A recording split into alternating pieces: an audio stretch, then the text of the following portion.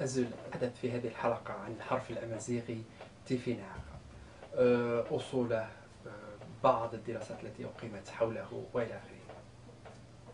الحرف الأمازيغي آه، تيفيناغ مفرده تيفينيق هو الحرف المستخدم في شمال إفريقيا عبر العصور والأزمان عنده استمرارية إلى يومنا هذا.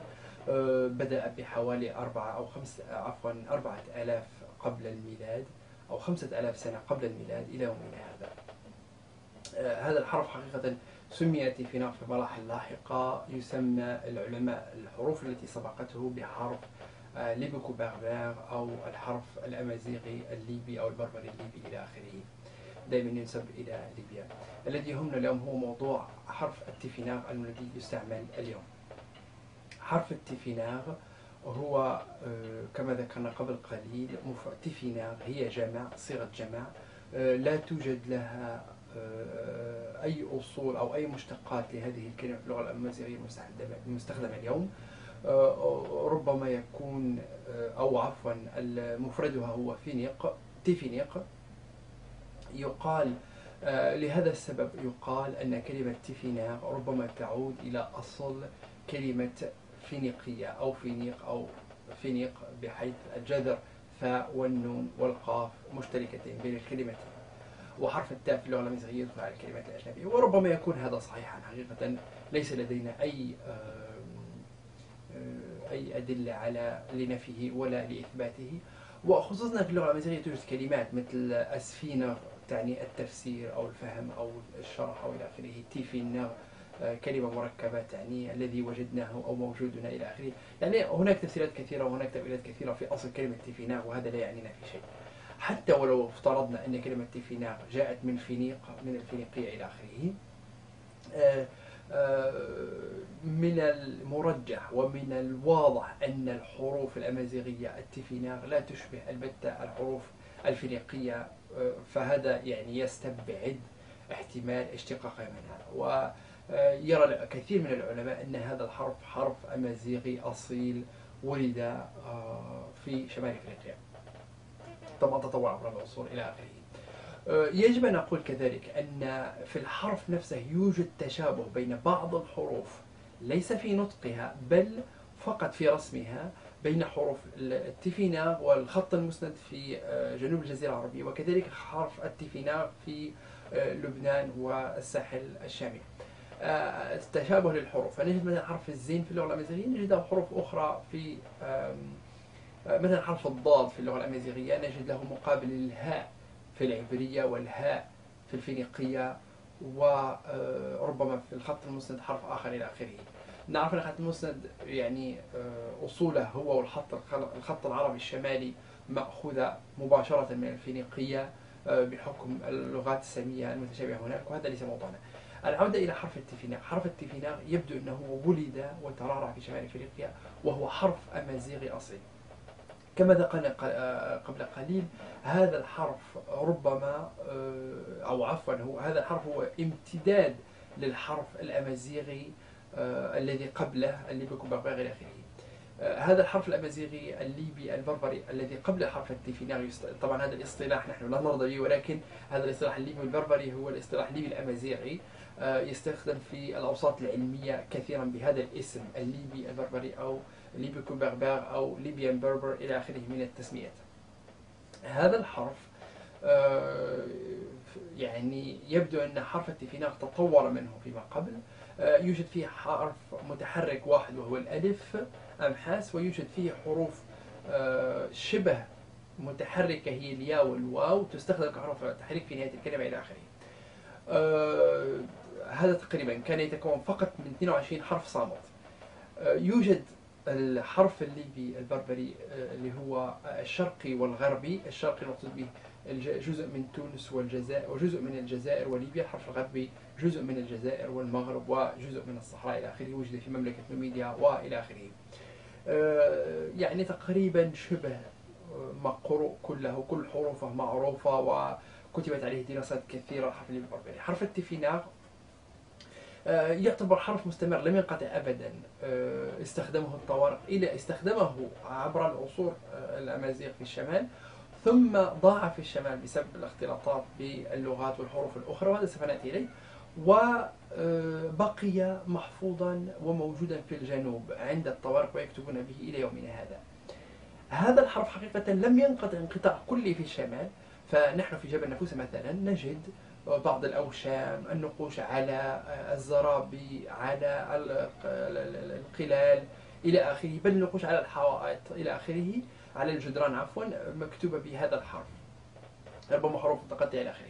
بل وجدت الحروف الليبية القديمة وجدت في مدينة فرن عن طريق أحد الأصدقاء آه، وجد هذا الحرف منقوشا على بعض آه، الصخور. آه، تحدث الرحالة رحلة اسمه ماثيو زيو في كتابه رحلة عبر طرابلس وبرقة أنه وجد مخطوط أو وجد ورقات مكتوبة بحرف التفينيغ هذا في جبل نفوسة ونقلها معه عندما رجع إلى الجزائر.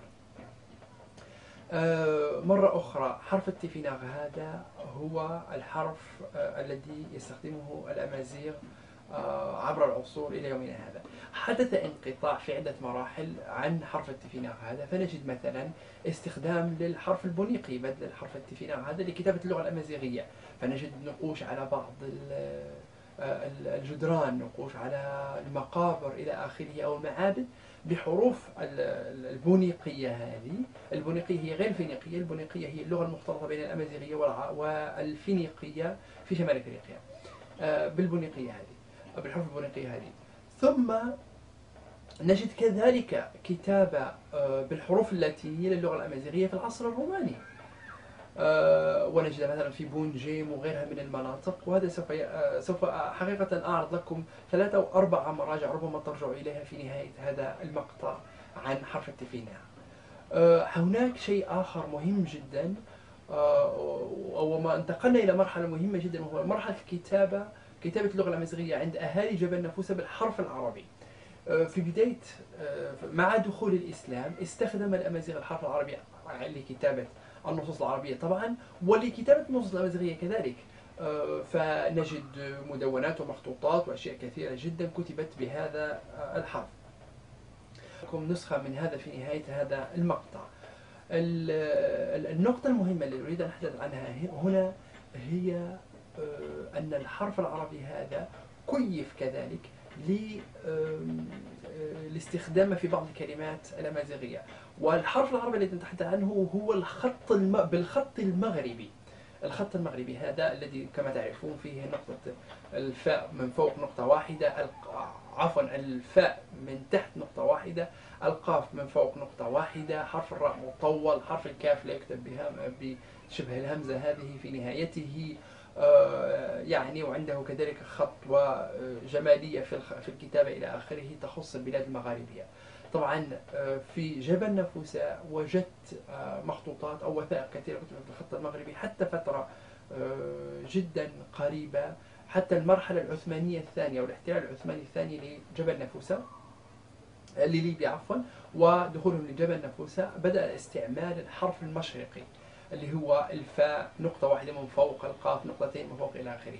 وللحديث عن الخط المغربي آه، إلى آخره يحتاج إلى آه، محاضرة واحدة وسوف نخصص له ذلك. آه، عودة إلى حرف التيفيناغ حرف التيفيناغ هذا الذي نستخدمه اليوم. يقال أن بعض الحروف في هذا وهذه ظريفة يعني حقيقة يذكرها بعض الباحثين في بعض الكتب التي سوف أعرضها في نهاية كما ذكرت قبل قليل في نهاية هذا المقطع. حرف حروف مثلا حرف الدال حرف النون حرف الزين إلى آخره لها رموز أو دلائل في الكلمات الأمازيغية نفسها. مثال على ذلك حرف الدال. حرف الدال يعني المعية يعني الالتصاق يعني القرب. آه فنجده مثلا في كلمات مثل نتش ديلي أنا وابنتي مع ابنتي. آه ولا مثلا أذهب بحماري أو بمعية حماري أو بصحبة أقول غيد وغيولينو. وغورغي نوغي اد الدال هذه حتى هي تعني الالتصاق نجدها في كلمات تعني الصحبة والالتصاق مثل أمداكل ولا أمدوكل آه، نجدها في كلمات آه، مثلا نجدها في النعود حروف النعود مثلا القريب نقول آه، ود هذا. ونجدها على العموم هذا الحرف نجده كثيرا جدا في الكلمات الملتصقة والمقتربة. ولهذا رسمه أجدادنا على شكل رقم ثمانية تلتصق فيه الحروف في نهايتها.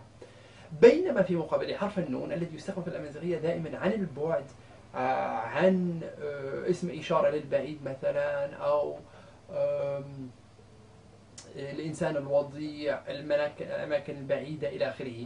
آه، فمثلا عندما تقول لإنسان تعال إلى هنا تقول آسد الدال هذه في آسد تعني هنا. مثلا نقول أوشيد أعطني هنا. أفكيد أعطني كذلك هنا إلى آخره. بينما في بعض التنوعات الأمازيغية مثل جنوب المغرب إلى آخره يقولون آسين بدل من آسد آه، آسد يقولونها طبعا تعني ائتي إلى هنا. وعندما يقول لك مثلا عبر الهاتف تعال إلي هناك يقولون آسين آه، إلى هناك. وموجودة هذه عند التوارق طبعا في جنوب ليبيا اللي هم أهالي غات. آه، طبعا هذه مماتة عندنا في آه، التنوع الأمازيغي في نفوسها وأرجو حتى هي الانتباه إليها قضية البعد والقرب إلى آخره.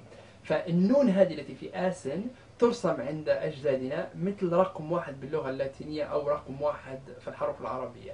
آه، خط مستقيم فقط.